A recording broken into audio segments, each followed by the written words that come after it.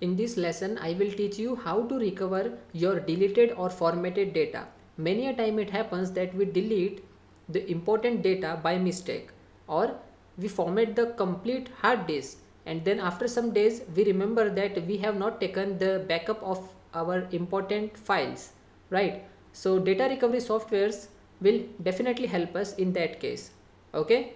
Or suppose one of your company employee is leaking some confidential information and then the person deletes or format the storage right and thinks that now he is safe. Now as a security expert it's your job to recover the data and collect the evidence right?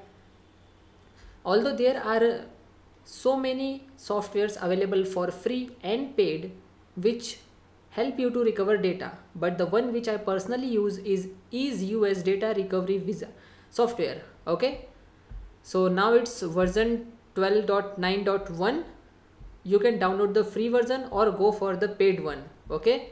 But if you are using this software for the first time i suggest you to go for the free download because the free version itself allows you to recover data up to 2 GB for free which is a good thing right?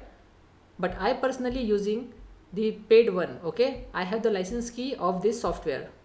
So now remember one thing, if you want to recover data from your computer system or from your mobile device or from your memory card, the process is same. Okay. So let me show you how. So let me open EaseUS data recovery software. Okay. So remember the free version will allow you to recover 2 GB of data only and the paid version will allow you to recover any amount of data. Okay so now it says select a location okay from where you want to search for the deleted files or you want to recover your data okay. So for example let's say for now I will go with this one okay E drive so let me open this and once I open it will automatically start scanning for deleted files okay. As you can see here it says 26 deleted files okay.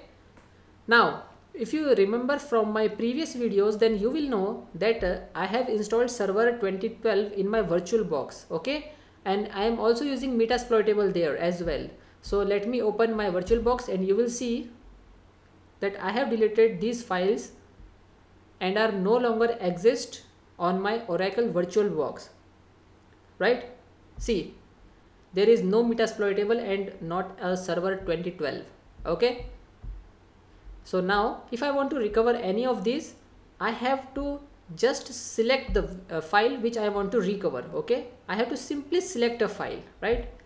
So select the file okay? Let's say I selected these three files right? And now it says the number of selected files is 48 okay it has included all of the files because I have ticked here okay? Now it says total of 10.38 GB okay? So if I click on recover button it will going to recover around 10 and a half GB of data.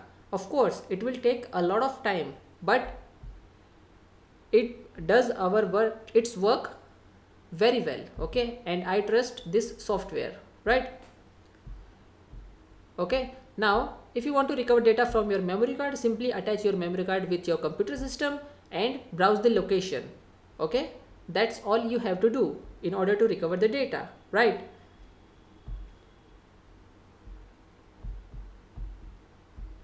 But the software you are watching in this video is a trial version, okay? You can see here. So I am not able to recover the data using this trial version, right? And remember one thing, if you format your hard drive many times and you want to recover the very old data, then there are chances that the software will unable to do that okay? So software will show you an error that the file is corrupted okay? And will not be fully recoverable right? So remember this thing. Always take a backup before deleting any of the important data right? So in this way you can easily recover any data you want